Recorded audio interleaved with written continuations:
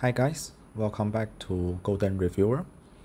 Today what I have here with me is the OnePlus Nord N10. This is a budget device with Snapdragon 690 processor.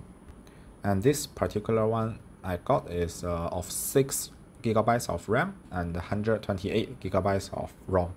This device costs less than 400 Singapore dollars here in Singapore. So I think it's uh, quite solid and it is a very good value for money device. So today I'll test the Genshin Impact game on highest settings on it.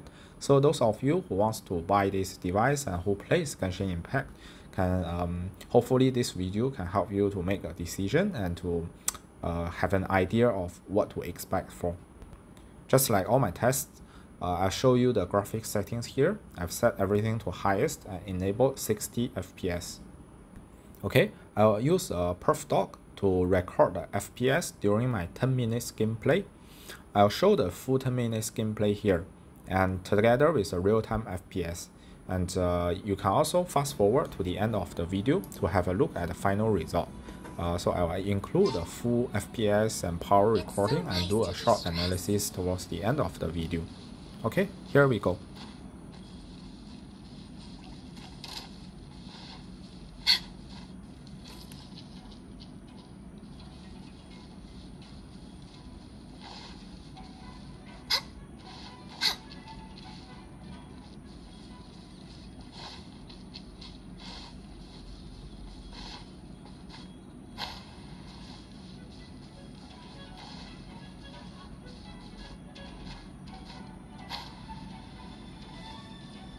Way behind schedule.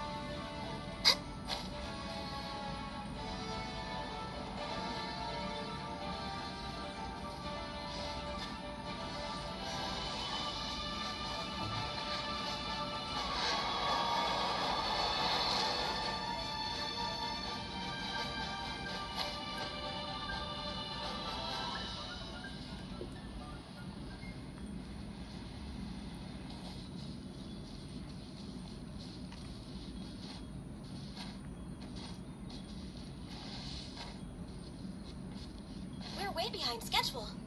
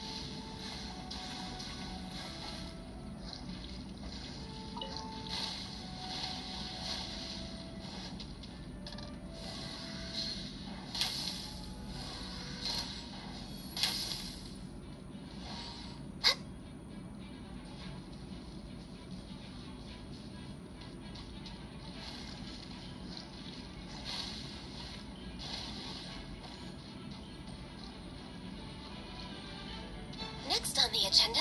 We're way behind schedule.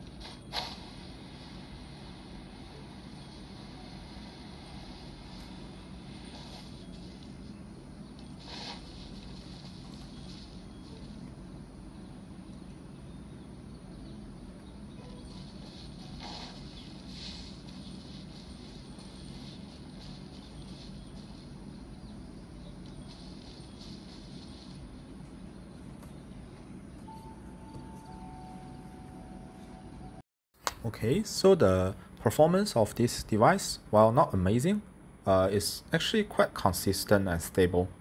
So it can maintain somewhere around 20 to 30 FPS throughout the 10 minutes gameplay.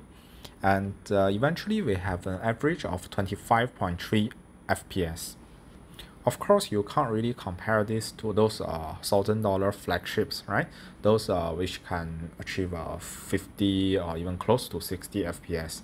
Uh, but I think for its value, for its for its price, uh, this performance is actually good enough. And uh, I think if you lower the graphics settings, you can have a very playable 30 40 FPS performance. And uh, I'm overall I'm quite happy with this. Uh, if we look at the power consumption, the overall average is uh, 4.3 watt, which is uh, quite reasonable. After 10 minutes of gameplay, the device does not overheat. Uh, it does heat up a bit, it, it feels warm, but it's not very hot. It's not like uh, burning hot, right? So uh, it's quite reasonable. I, I think the the thermal management here is also quite good. But I do notice the uh, some instability in the power consumption. You can see here at uh, uh, 3 minutes and at 8 minutes there are a sudden uh, rise in the power consumption. I don't know why it's there. The performance uh, is the same, the FPS is the same. I'm playing at the same area. By right, the load should be the same, but I don't know why it suddenly use a little bit more power. So I think this is definitely something that can be improved by optimization. Uh, also, if you consider the fact that this device has a 4300 milliampere hour battery, uh, simple math will tell us that uh, at these settings and this performance, it can play the game for 3.8 hours before the battery is drained. Alright, so um, I think the, the estimated battery life is also quite decent. Okay, alright guys, there you have it. Uh, the Genshin Impact game test on OnePlus Nord N10. Okay, uh, if you like if you like my content, please give me a thumb up, uh, share it to your friends, and also remember to subscribe. Okay, see you next time.